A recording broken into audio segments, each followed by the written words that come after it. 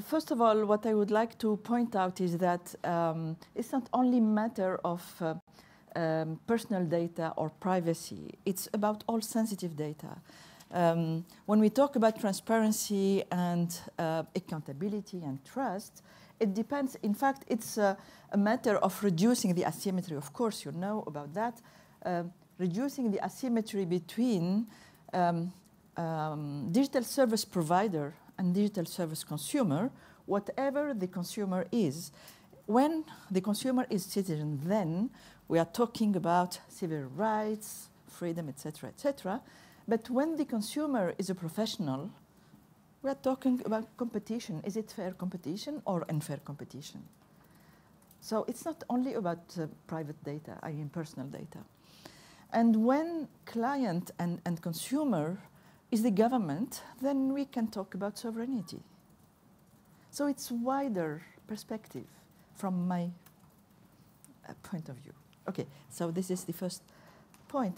Uh, the second one, in fact, I would like, I will not go through all the details because all over the day you have some insights, in fact, from each of these um, uh, ideas. But at least uh, I would like to give you an example coming from a study that have been conducted between um, a research um, Inria group with a regulation authority, which is CNIL. Maybe you know about CNIL, yeah, in France.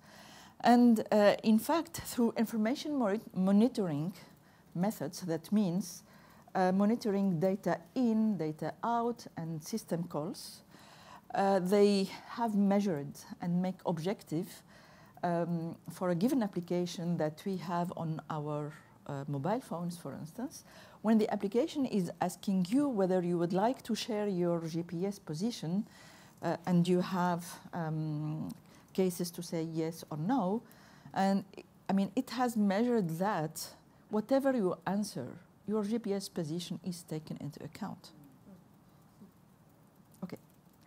So, in fact, this is my point. I mean, the law say, okay, the consent is very important, it's, it's a right. But once we say that, how the lawyer could check if really law is applied and if consent is really effective.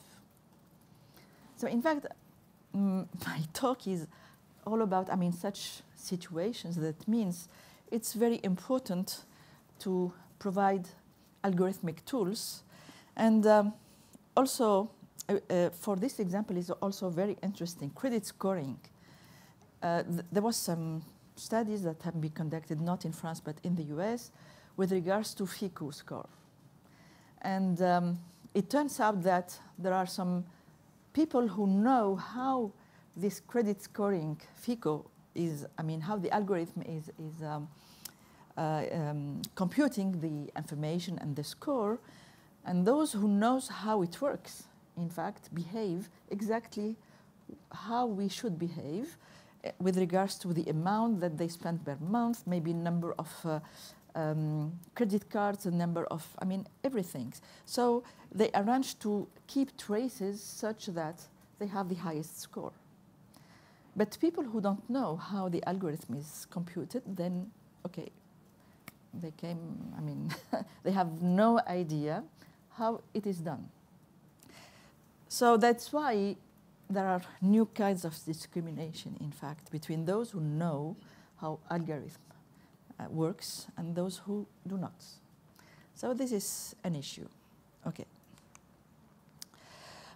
Very few examples, of course, you know about bias, not only from the data point of view, but also from algorithmic point of view. That's why I talk about algorithmic systems, meaning data and algorithm because of course we can have different sources. Okay, it, it doesn't work on the screen, of course. Yeah, um, bias related to data and bias related to algorithm.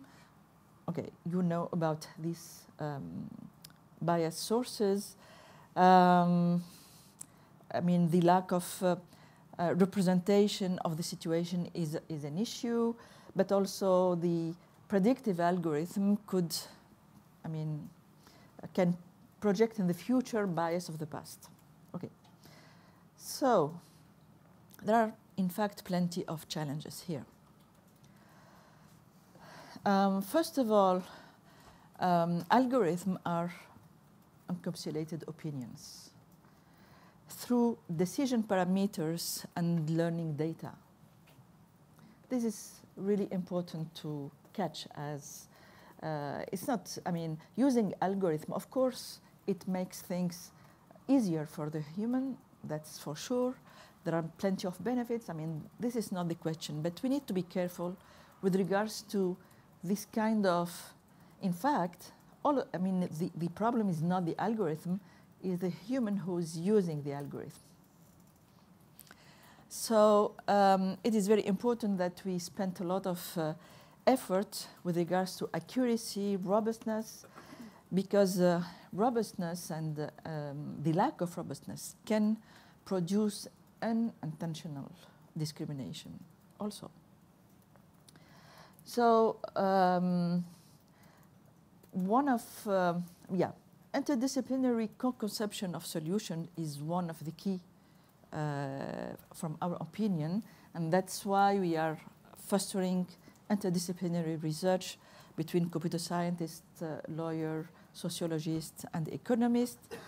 Uh, but also we need to uh, develop a new generation of algorithms which are transparent by design, uh, including, I mean, ethical principle by design, equity by design, etc. I mean, really we need this new generation of algorithm, including these principles. This is very important. And my point, this is in fact my point, is that AI and algorithm, because humans cannot by themselves monitor the behavior of algorithm. We need other kind of algorithm, which of course um, transparent, could be open source. I mean, uh, available for everyone to be checked and, and uh, tested. But in the same time, it's very important to have this kind of thing. In fact, to come back to the previous examples with regards to consent, the problem there, when CNIL comes back to the enterprise saying, okay, what's happening there? So the it comes out that the issue is that um, the um, software developers who developed this component, this software component, have uh, make software reuse from uh, different uh, machine learning algorithms, etc., which are open source today. Most of the time, machine learning are open source today, and they they haven't been sufficiently careful about information leaks uh, with this component. So this have impact on we need to adapt the training of data scientists to this kind of thing. These are very new. In fact, today the um, uh, machine learning algorithm are not, it's not the issue because, uh, and I, I, could not imagine that enterprise recruit data scientists to uh, uh program regression algorithm. It has no sense. Plenty of algorithms of such kind are available. So we need different training. Uh, way for that new generation of data scientists. So that's why GDPR is okay, but we need to support the GDPR with algorithmic tools to be sure that it's effective. We have no guarantee that it could be effective, in fact. So, um, yeah, international collaboration is key since we are facing concepts such um, loyalty, fairness, equity, which are somehow subjective, dependent from cultural uh, context, from policy context. So that's why it is not very efficient to develop each, I mean, community on her own, their uh, uh, fair algorithm, their loyal algorithm, etc. But we need um, a minimum international effort in this regard. In fact, this is slide was uh, not, in fact, it was independent from uh, the uh, news nowadays. It was about, in fact, Cambridge Analytica, uh, but it's yeah, it's actuality now, because it's the really uh, one of the typical example that shows that ethical does not mean responsible and vice versa. Uh, Cambridge Analytica um, are not violating no law. I mean, they are, they exist, and it, it's not illegal. It's not illegal, but uh, it's not so ethical. It may be illegal too.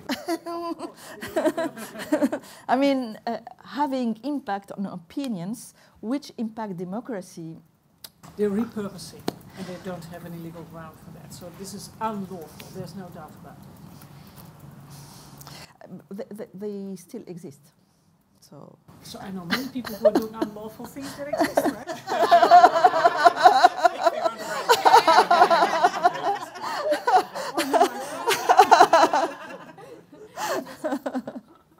yeah, I mean, uh, we have plenty of examples where responsible does not mean ethical because most of the time we use both vocabulary together, but they are really different. So, so there are two uh, ways to, in fact, to face this situation. One of them is the auditability of algorithm, and the other way is to develop new generation of algorithms which are transparent by design. And that's what I was saying a few um, minutes ago. The real asset are the data um, and not the algorithm, because algorithms today are available, but not data. I mean, no, I, didn't see people who would like to share data very generously, okay? So in this regard, we, uh, it's very um, new, very recent. The kickoff was mid-February. Uh, we launched in France this initiative, which is uh, the Dataia Institute, um, which is very important is that uh, we build up um, very interdisciplinary community from uh, mathemati uh, mathematicians, computer scientists, management and economy, social science and legal science. And um, we have these four, um, I mean, uh, priorities and challenges from data to knowledge, from data to decision, of course, um, fundamental research in deep learning uh, to artificial intelligence, but the two others, transparency, responsible AI, and ethics, are fully interdisciplinary um, since computer science scientists do not uh, cannot define what is responsible algorithm. It's responsible with regards to policy uh, consideration. So they, I mean, they need to work together, and they start to work together in this regard, in fact. Uh, the fourth um, direction is about data protection, regulation, and economy. So people working on different models about um, uh, protecting data in a central model or distributed model. Um, but in the same time looking to the um, business model, which because the business model could have impact on the technological choices, and at the same time, um, the policy context can also, um, uh, I mean, help uh, in choosing the technical solutions.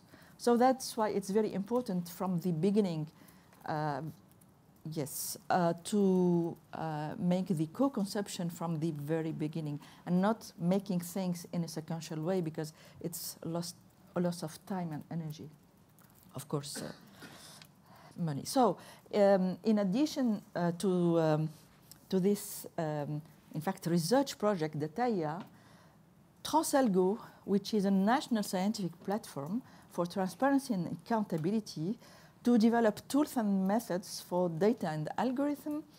Uh, in fact, uh, it was, I mean, uh, uh it was following the very recent law in France uh, with regards to law for digital republic uh, that states the right to the citizens for the explainability of algorithmic decision for public services.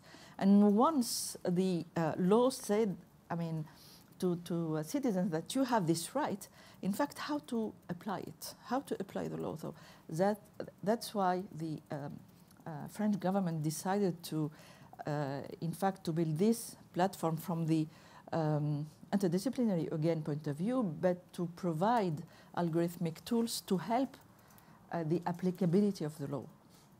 So, um, so we have a multiple um, contribution. I mean, uh, not from the academia only, but uh, a lot of um, regu uh, regulatory bodies. Uh, because you, as you know, recommendation of content, uh, from cultural content, now it's um, unfair competition for some cultural content production. I mean, etc., etc. There, there are a lot of economic um, issues there. So um, the objective of this uh, platform is not only science. Uh, there is, a, I mean, a big um, objective about awareness rising for large public.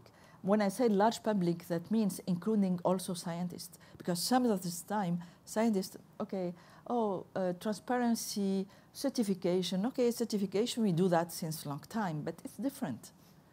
We need also to explain these problems even to scientists and not, I mean, that's why it's, uh, we need to have this uh, awareness rising effort um, and resource center uh, sharing best practice. And um, in fact, within this uh, initiative, we build up uh, some working groups which are more um, scientific community oriented, though, uh, about auditability of recommendation and ranking systems explainability, reproducibility, and uh, bias of machine learning.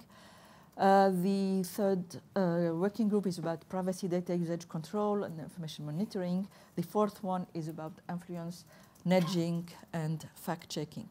So this is ongoing, and we believe that um, it's very important to, to really enlarge these concepts and, and effort to I mean, beyond the uh, scientific community. This is very important. Thank you.